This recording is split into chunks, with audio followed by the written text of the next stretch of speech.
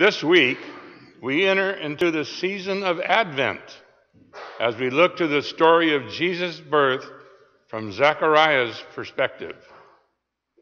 As you hear the text read aloud, listen for the hope Christ was for Zechariah, who was John the Baptist's father. Luke chapter 1, 67 to 79, page 54 in your Bibles. Then his father, Zechariah, was filled with the Holy Spirit and spoke this prophecy Blessed be the Lord of Israel, for he has looked favorably on his people and redeemed them.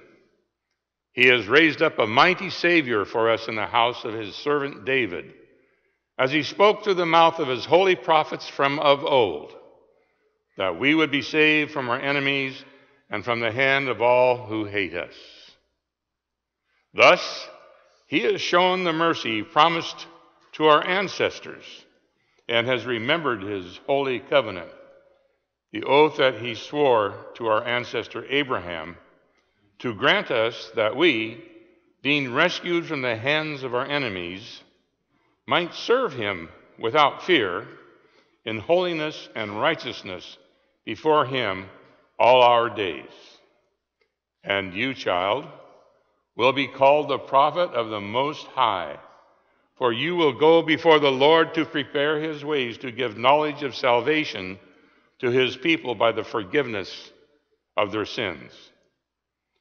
By the tender mercy of our God, the dawn from on high will break upon us to give us light to those who sit in darkness and in the shadow of death to guide our feet into the way of peace. Holy words for God's people. Would you pray with me, please? Creator God, how good and perfect it is when your people gather in your holy and powerful name. We come before you this morning in the midst of a broken world, a world yearning for your love and desperate for your healing. And yet we come before you this morning trusting in the hope that you give. We come before you this morning living with the hope made known in Jesus, called to go out into the world anointed with your love. And so grant us your wisdom, your patience, your mercy, and most of all, grant us your spirit that we would be guided by you and you alone. Be present, O God. Move in this place that we too would be moved and changed. Speak to us, we pray. Less of me, more of you, none of me, all of you. May the words of my mouth and the meditations of all of our hearts be pleasing in your sight, our rock and our redeemer. Amen.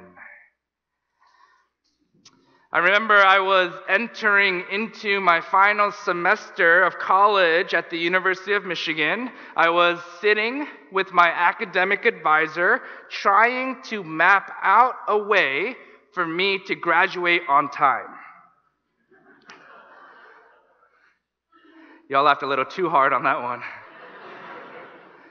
You see, I had already declared political science and English as my majors, and I had focused so much on fulfilling those requirements that I lost sight of the general requirements that I would need to take in order to graduate with a degree.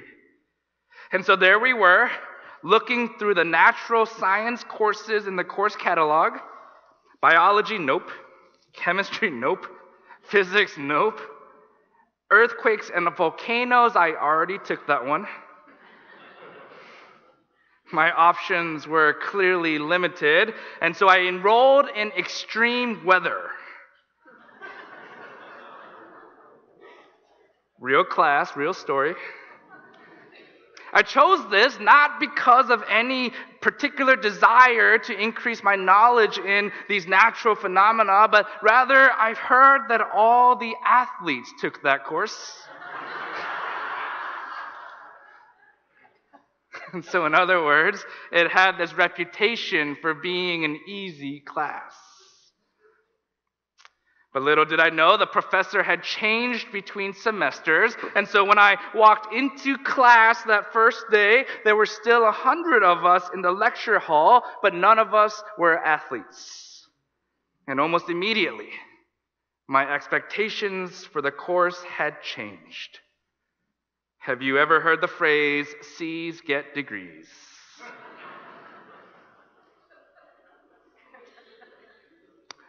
this morning, we enter into the season we call Advent, which comes from this Latin word meaning coming. It's a time for us to prepare for, to anticipate for, and to expect the coming of Jesus. But I wonder, what does that mean for us today in our day and age? What does it mean for this coming of Jesus? What are our expectations as we remember that day 2,000 years ago and how we apply that today? see, eight years ago, our, our leadership then uh, gathered and they adopted a purpose statement, and you'll see it all over the place. It's in your bulletins and on different signs. It's becoming Christ in the community. And we've held on to that purpose for the last eight years as our programs and our ministries continue to grow and evolve and shape who we are today. But that Christ, that Christ in the community, Christ can mean and does mean something different to everyone. Right? Scripture is full of stories as Christ as a healer, or a feeder, or a comforter, or a teacher, and on and on. So, for these next few weeks, as we journey through the season of Advent together, what we'll do is we'll take these weekly themes of Advent. We have hope, peace, joy, and love. And we'll focus on each one of those and see how the birth of Christ 2,000 years ago was the embodiment of those specific themes. So, Christ as hope, and Christ as peace, and Christ as joy, and Christ as love. And we'll continue to look at how this informs our purpose today. When we say becoming Christ in the community, what might that mean? And so today we, we start with hope, becoming hope. Now, this text that we heard Dick read for us this morning is, is the beautiful culmination of a portion of Christ's birth narrative. Earlier in chapter 1, we, we read about Zechariah, a priest who was righteous before God, living blamelessly according to all the commandments. And he and his wife Elizabeth were getting on in their years. They were getting old, and they had no children because scripture tells us Elizabeth was barren. Now, if this sounds familiar to you, it's because this theme of God providing in the midst of barrenness occurs over and over throughout Scripture, especially the Old Testament, the Hebrew Scriptures. We look at Abraham and Sarah, and Isaac and Rebekah, Jacob and Rachel, Manoah and his wife, who were the parents of Samson. We have Elkanah and Hannah, the parents of Samuel, and on and on. And so, from the beginning already, the beginning of our introduction to these two characters, to Zechariah and to Elizabeth, our author is setting us up to think back to and to draw upon the Hebrew scriptures. And in doing so, the author reminds us of Jewish history. You see, from the days of the prophet Samuel, there was this event there was an event predicted by prophets and anticipated by all the people, an event that would deliver Israel from all its enemies. King David sang about the coming of Messiah in the Psalms. Isaiah wrote poetry about a Savior, a, a Prince of Peace. Jeremiah preached in the streets about a righteous branch that would sprout from David's line. The Israelites have been waiting for centuries for this powerful liberator, this redeemer, this healer, this deliverer. And they anticipated, they waited for, they expected and prepared for a sign from God.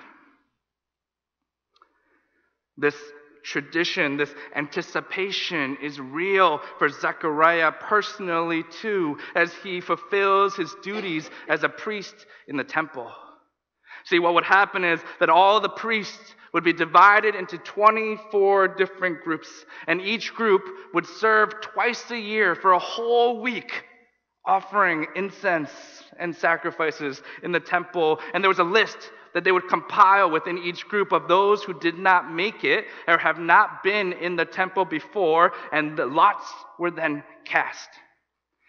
And this privilege, this often once in a lifetime privilege, would be given to a priest who would go and care for the altar while all the other priests were gathered outside waiting in prayer. And scripture tells us that as Zechariah was performing his duties, the angel of the Lord encounters him and tells him that his prayers have been heard, that he and Elizabeth will have a son, and they will name him John. Now, this person will later go on to be more commonly known as John the Baptist, preaching and teaching in preparation of Jesus' ministry. But in the meantime, he is simply an answer to a parent's prayer. Unfortunately, this does not seem possible for Zechariah. Zechariah reminds the angel that both he and Elizabeth are old. And then the angel turns and reminds him that he is an angel and that he speaks for God. And because of Zechariah's unwillingness to believe, inability to believe, in his lack of faith, he loses his ability to speak until that day when all is fulfilled. And then 30 or so verses later, John is born, and Zechariah is filled with the Holy Spirit as he sings this beautiful song of praise to God, speaking about Jesus, the Christ to come. Hear these words again. Blessed be the Lord God of Israel, for he has looked favorably on his people and redeemed them. He has raised up a mighty Savior for us. He has shown mercy to our ancestors. He has remembered his covenants. He has rescued us that we might serve him. Salvation comes. These words of gratitude, of praise.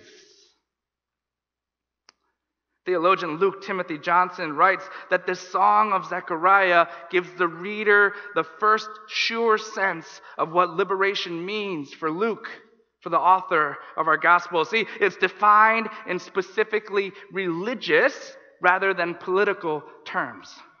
See, one way of looking at it, freedom means release from the power of enemies. But in this case, the positive side is worship. Liberation means worship and holiness of life. The Messiah's role is not one of violent revolt, but rather of leading the people in the path of peace. I wonder if we, like Luke's first century audience, might look at the hope Christ brings as a fulfillment of God's promise and an invitation into the wholeness of life, into the holiness of life. Because I'm struck, I'm struck by the brokenness that exists in our world today, the disharmony with the earth the rifts that threaten to divide families and split relationships, the blatant struggle for power, for control, for more and more and more at the expense of others, the oppression and marginalization that happens in front of our very eyes. I'm struck by the increases in homelessness and depression, in addiction, in violence, in war, in language of hate, in fear of the other, and on and on. But it's in those moments that I recognize my own brokenness and my need to lean on God's promise, on God's faithfulness, and to carry this forward. There's a specific moment when that same realization, I think, happens for Zechariah. It happens a few verses before our text in verses 59 and 60. You see, Zechariah and Elizabeth's son is born. And as is custom of the time, eight days later, he is brought to the temple to be circumcised. And as it is still custom to the time, the family, because Zechariah can't speak yet, decides to name him after the father Zechariah. But Elizabeth stops them. And as Elizabeth remembers the words of the angel and says, No, he is to be called John. And the people are confused. There's nobody named John in your family. Why, John? And they turn to Zechariah, who still can't speak. Bring him a tablet. And he writes, His name is John. This is cool. The name Zechariah means God has remembered. The name John means God is gracious. Did you hear that verb? You see, as much as we trust in God's promise, as much as we trust in God's faithfulness, as much as we put our hope for healing and wholeness with the past, confessing that God has remembered throughout time, we must also put our hope in the active work that God is doing even today. Amen, somebody. Amen. Some no, not that part. Oh. God has remembered. God is gracious even today, even to you and to me now. What a privilege. What a joy. What an honor it is to be invited to join in that active, that active, that continuing work. God's active, continuing work, not out of ritual or habit or tradition or Christian obligation, but because we too, because you too, have a hope for the world to be shared far from here. That's good news. That's a hope that we can trust in that we can wait for, that we can actively pursue even today. And so may we live into our purpose, our purpose of becoming Christ in the community, and may we live into becoming hope.